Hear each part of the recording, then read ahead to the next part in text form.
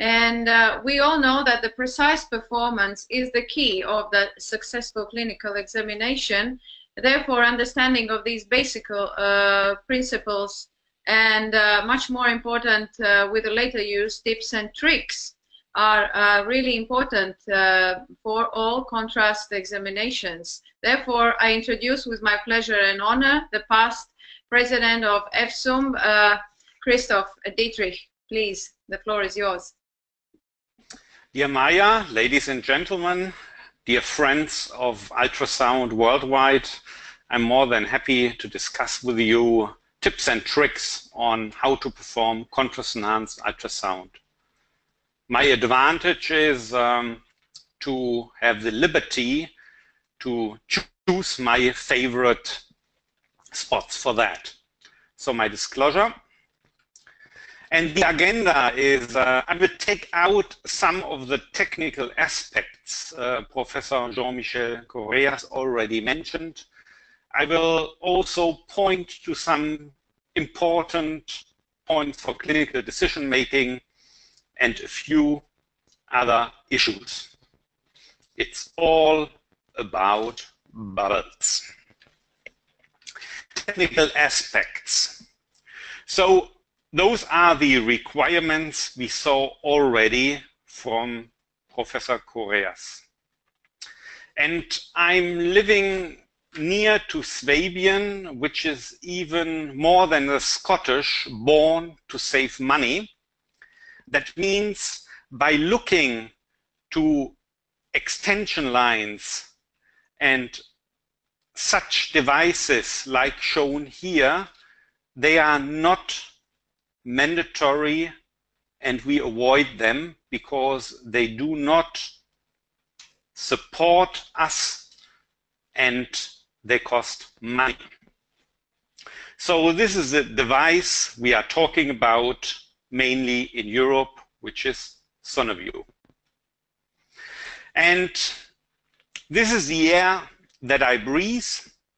And there's one thing which is important. Never connect this part of the package directly to the gas because it would go away.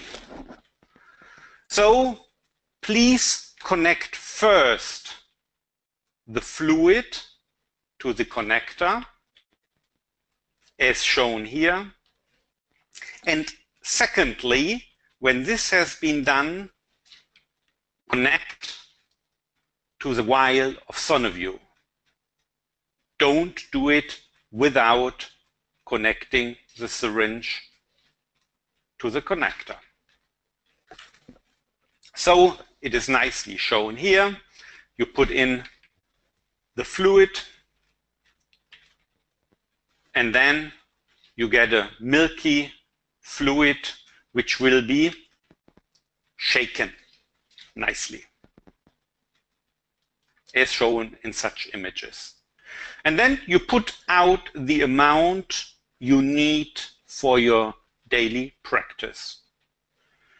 It might not be such important to tell that pancreas will be like kidney or spleen 1.2 or 2.4 ml. This is also equipment dependent, but keep in the same range for your patients and for your indications. You can improve according to your manufacturer and settings. Some tips to do it right. So best thing would be to have, to have an anti-cubital connection. We do not use extension lines. We connect the SonoVue directly to the catheter. And to have a practical use, you can see the flash 10 ml 20 would be even better, but you cannot handle by your hand. So we use 10 and a rapid flush after injecting SonoVue will enhance the contrast enhancing features shown here. On the left hand, if the examiner is on the right, the flash is connected to the filter, never the SonoVue. And you see here that this is a practical use of the assistance on the left side of the patient. After injecting SonoVue, the flash is injected. And you can see here how this is done. The examiner has enough space. The assistants give the injection on the left side and it's well situated. Another view of this practical advance. Tips to avoid is if the assistant is on the same side as the examiner, the cannula should not be on the hand because there's a longer distance to the heart and to the liver and the other organs. And we do not use such an application of the contrast agent because the examination cannot be nicely done if all that things happen on the same side. So as a rule, the contralateral antecubital cannula is the best is best to perform. As you can see here, if all happens on one side, it does not work nicely. So wrong is IV cannula on the examiner side, better contralateral. As already mentioned by Jean-Michel Correas, it should be larger or, or similar to 10, 20 G. Go antecubital, do not go peripheral like shown here on the hand. We do not use extension lines because it costs money. And for us, as shown in the previous image, there is no use of the three-way stopcock. So this should never happen. On the wrong side, right-handed, next to the examiner, never put the SonoVue on the filter of the cannula. It happens quite often when we do contrast workshops that this will be organized in that way, but never SonoVue on the filter of a cannula. Do it autograd, avoiding the filter. We don't use an extension line because it has no additional value. If there are problems, you can use an ultrasound device and you can insert the cannula ultrasound guided. The European Federation of Societies for Ultrasound in Medicine and Biology has published guidelines on how to use ultrasound devices for vascular access. You can free download from the EFSUMB website. Clinical decision making. The most important has been already mentioned by Professor Fabio Piscaglia and by Professor Jean-Michel Correas, that the liver has a dual blood supply and we can judge the enhancement and comparison to the hepatic artery and the portal vein. Here on the left side, you can see the typical image of a central vascular supply in a patient with FNH. And we compare the enhancement in comparison to the hepatic artery right shown here. In the portal venous phase, we judge in comparison to the surrounding portal vein branches. And the important issue is that malignant lesions or liver foreign tissue has no portal vein branches. So such malignant lesions enhance variably in the arterial phase, but show hypo-enhancement in the portal venous phase. We judge the enhancement in comparison to the surrounding liver vessels as shown and liver parenchyma in the later phases according to timing and degree. Here you can see arterial enhancement in comparison to the hepatic artery, HA, and in comparison to the portal vein, which does not show any enhancement after a few seconds after injection. The portal vein is not yet enhancing. Three seconds later, you see the enhancement of the portal vein, and you see that this lesion is no more hyper-enhancing in comparison to the surrounding liver parenchyma, but hypo-enhancing. This, this means, under oncological principles, if a biopsy would change the management of the patient, this should be done. In the late phase, this portal venous enhancement or hypoenhancement, in this case in comparison to the portal vein and in comparison to the surrounding parenchyma, is a feature of malignant infiltration in most but not all circumstances. Some inflammatory diseases might also cause hypoenhancement in the late phase. So biopsy and histological evaluation is mandatory whenever it changes patient's management. So there's one big issue which is so different in comparison to CT and MRI, which have arterial phase pretty early and portal venous phase at about 45 seconds if we look for the literature. But the portal venous enhancement starts few seconds after the arterial phase using the strict intravascular agent SonoVue. And I will show you. Here you can see nicely it is an image from 2002 during the SonoVue approval study, and you see that the central enhancement and we will see later on in the surrounding the portal vein right on here. And as you can see down here, when we restart the clip, please have a look Central arterial enhancement portal vein shows enhancement two or three seconds after the arterial enhancement.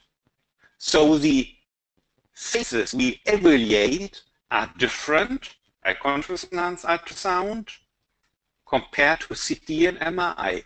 Few seconds after arterial enhancement, portal vein enhancement can be seen.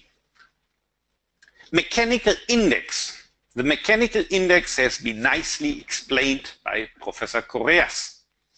It might affect several processes relevant to image quality and the evaluability. The points are the degree and rate of microbubble destruction. The higher the MI, the more destructive the depth of ultrasound beam penetration. That means in deeper location, you have to increase at least quite a little bit the mechanical index. And the ability to separate signals scattered from background tissue versus those scattered by microbubbles. Since tissue scattering is linear at low amplitudes, while microbubble scattering is nonlinear at all amplitudes. Here you can see a lesion inject the contrast agent of you, um, FNH, and here's the portal vein enhancement. And a few seconds, I will play with the mechanical index. No enhancement or little enhancement in the surrounding liver parenchyma, some sort of stealing effect of this FNH. We will increase right now the gain. And you can see there's bubble distraction because if I'm moving the transducer a little bit, it shows bright signals. And when I stay over the lesion, all that bubbles have been destroyed. So take care of mechanical index to show no bubble distraction whenever possible. Only increase in deeper locations to get better penetration. Here you can see a second feature, which is the gain. The gain should be very slightly above the noise floor, as already mentioned. Here you can see an oversaturation that only part of the signal can be displayed. In this region you have only noise. Here there is the gain too low and only signals from larger vessels can be displayed, but not homogeneous from the kidney parenchyma as shown in the middle. So we discussed the mechanical index, which is a specific setting for the respective manufacturer you personal use. And look that you always get the whole signal window, not with a too low gain and not with oversaturation as shown here. By characterizing liver, focal liver lesions, we discussed that the evaluation in the portal venous later phase shows us hypoenhancing as a sign of malignant infiltration or at least as an indication to take biopsy if a histological examination will change patient's management. In focal liver lesions, there are additional features which help us to characterize. And this has been quite nicely showing by the previous speakers please allow to show three examples. Here you can see in B mode almost not to be seen a rim enhancement or ring enhancement in the arterial phase. A few seconds later, you can see that the whole lesion is hypoenhancing. So this is a feature of a malignant infiltration with biological activity at the border of the lesion. Benign focal liver lesions have sustained enhancement in the portal, venous and late phases and characterizes most benign solid focal liver lesions. They can be further characterized as benign they can be further characterized by their enhancement patterns during the arterial phase. So in the portal venous later phases, they can be characterized as benign if they show iso or hyper enhancement, sustained hyper enhancement. And a central enhancement in the arterial phase is a typical sign of focal nodular hyperplasia and an initial peripheral globular or nodular enhancement is typical of hemangioma. Let's have a look to peripheral nodular contrast enhancement. You can see nicely in this patient the peripheral nodular contrast enhancement as a sign of hemangioma.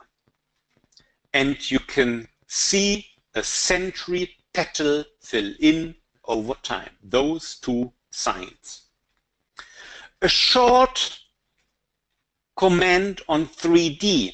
It is nicely possible and you can see such hyper-enhancing lesions like hemangioma in a 3D image today and it gives additional information but it's not routinely used right now in daily practice. But as you can see, it may show additional features with respect to the surrounding liver parenchyma, and it can show the thrombosed central parts of this giant hemangioma. The pattern of 58 histologically proven hemangioma in oncological patients, they had a very good reason for a biopsy because this changed patient's management and the diagnosis was not known before. Show the typical features if you are interested, published in hepatology. Be aware that the peripheral nodular contrast enhancement, as you can see here in the arterial phase, should stay hyper-enhancing. Sustained hyper-enhancement is a sign of a benign lesion. Here you can see arterial peripheral nodular contrast enhancement, but the contrast enhancement was less. It was a washout in the portal venous phase, and therefore we initiated biopsy and histological examination in this patient, and it was not hemangioma, but it was hemangioendothelioma. So always rely first on the hyper enhancement in the portal venous and late phase as a sign of benign nature, and then judge secondarily the arterial phase for additional characteristic like peripheral nodular contrast enhancement as a sign of hemangioma and central arterial blood supply as a sign of focal nodular hyperplasia. Here you can see a hypoechoic spot, focal fatty sparing, and in that lesion, you can see the individual bubbles from that tiny lesion, and you can see shunts in the surrounding. So we call this lesion shunt hemangioma. Only part of that lesion in B mode is characterized by the lesion. The shunts give arterial blood supply to the surrounding, less fat, less insulin. Therefore, the surrounding of this lesion is hypoechoic in comparison to the surrounding liver parenchyma. We cannot only detect and characterize lesions, but display shunts which show us the pathophysiological explanation of the surrounding liver parenchyma due to the shunts more oxygen-derived arterial blood, less portal venous, less fat, less insulin, therefore less fat in the surrounding. So it's a focal fatty sparing in the surrounding of shunt hemangioma. The central arterial blood supply can be nicely seen here. Sometimes you might not believe that this is really central like shown here. It can be also eccentric in focal nodular hyperplasia. But we miss the fourth dimension. We miss some understanding of the time curve of such enhancement. So if you look here for a black and white central arterial contrast enhancement, you can see the central arterial blood supply and this is a typical feature of focal nodular hyperplasia. No doubt about it. But today, you can also color code such enhancement. Yellow early, green thereafter, blue at the end. So we can use parametric imaging, the analysis of time intensity curves for color-coded analysis of the enhancement pattern as shown here. So tip and trick is if such an equip equipment supports, you can use not only a 2D or 3D, but a 4D, that means a time-dependent analyzing using color coding. Do not trust the central scar in FNH because it is only existent in 70% of FNH. And this has been nicely proven by Nguyen in 305 histologically evaluated FNH. This is a central scar, only apparently existing in 70% of patients. A beautiful central scar in an FNH a central scar indicated right on here, but this was hemangioma, peripheral nodular contrast enhancement. The larger the lesion, the more you have centrally located regressive changes in FNH, in adenoma, in hemangioma. So don't rely on the scar.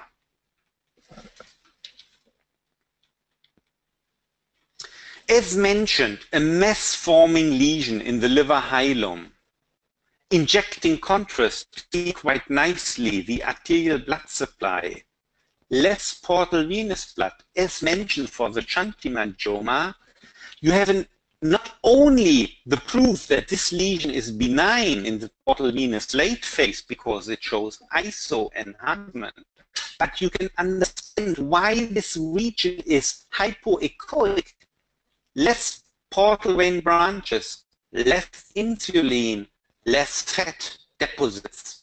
So we can understand in that real-time image not only benign nature of focal fatty sparing, we can understand the physiology behind.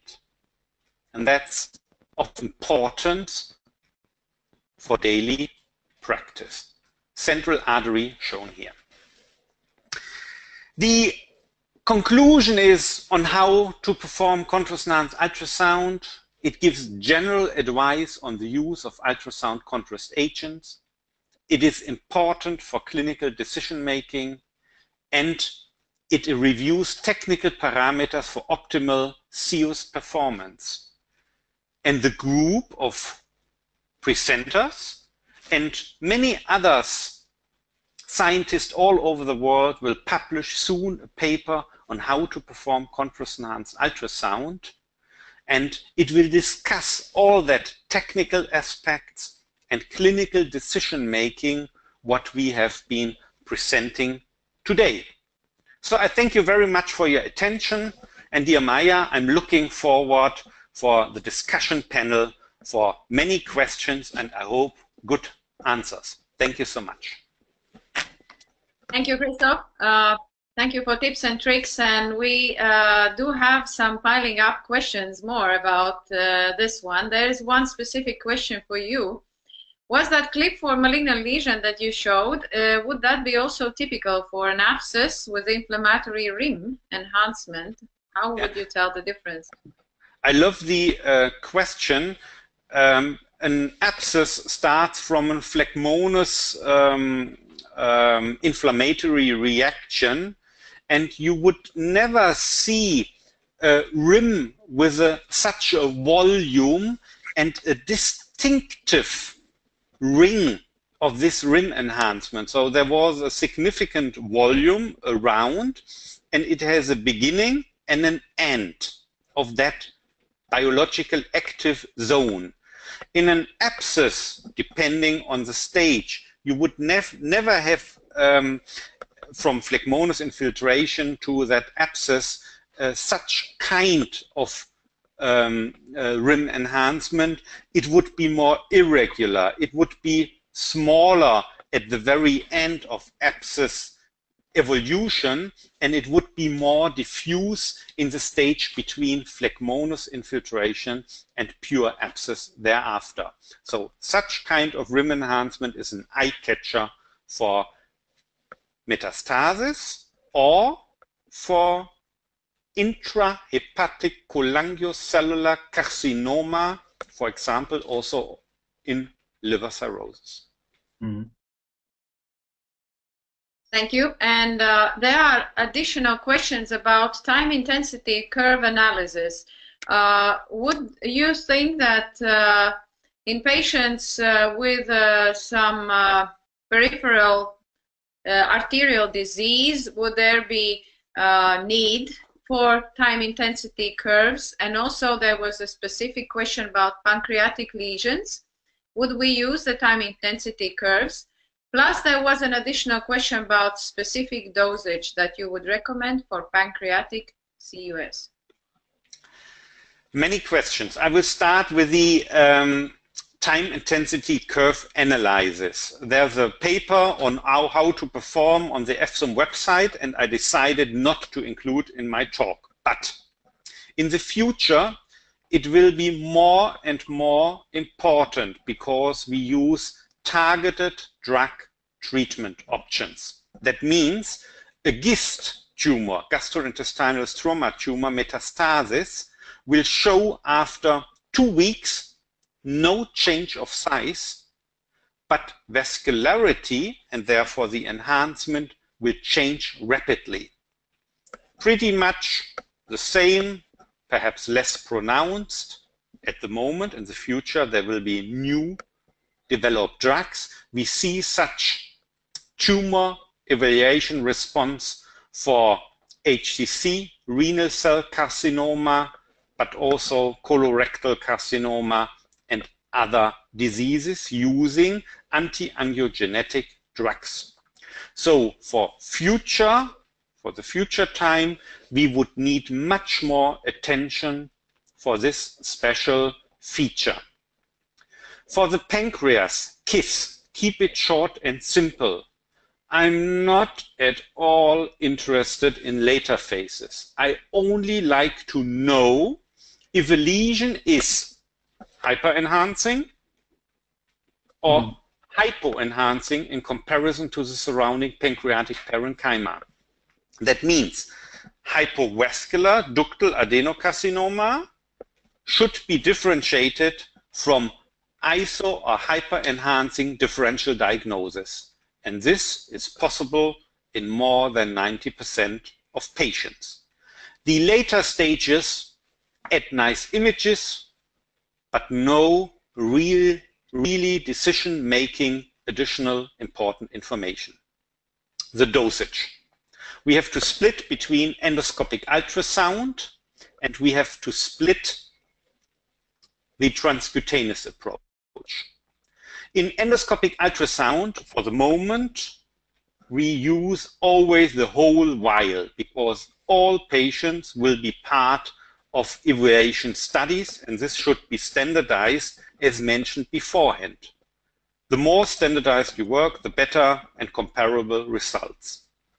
If you look from outside and you have a slim patient, be aware that the pancreas in the microvascularity, not in the macrovascularity, is a highly perfused organ. So you might choose for the pancreas in a small patient a small amount of SonoVue 1.2. Since we do all our studies in a standardized protocol, we use for pancreas always 2.4 but you might get better signal noise ratio under some circumstances with even lower dosage. Okay. Uh, there was uh, one more question. Is uh, time intensity curve appearances dependent on the dose that we use? Would there be difference in time intensity curves? Yeah. We have um, enhancement characteristics, the peak enhancement, which rely, uh, which is um, influenced by different factors and also the gain. You have peak enhancement and you increase the gain, so you might change your curve. And we have the time dependent parts of the curve, which is from here, uh, from here to there, yeah, and they are more stable. They are independent, more independent from the dosage, from the examiner, from the gain, but to compare area under the curve between two patients at the beginning of a treatment and at the end of the treatment, it does not nicely works because there is there are differences in the enhancement areas of that lesion. The lesion might shrink. And there are so many things which we have to evaluate in the future to standardize, to learn more, that at this point the analysis of time intensity curve is for the advanced examiner a standardized procedure, but we have to agree on which parameters have to be compared before and after treatment, um, which parameters influences the time intensity curve analysis. All many factors have a different way on how to show such dynamic contrast enhanced ultrasound using time intensity curve analysis. I love the questions, but they cannot be generally answered at this moment. I wonder, Jean-Michel, qu'est-ce que tu penses? Yeah, well, I, I totally agree with you, in fact, and I think that this question is, is very difficult to answer. Right now, we only use time intensity curves for research and not for our routine practice. Uh, thank you uh, for the comment. Uh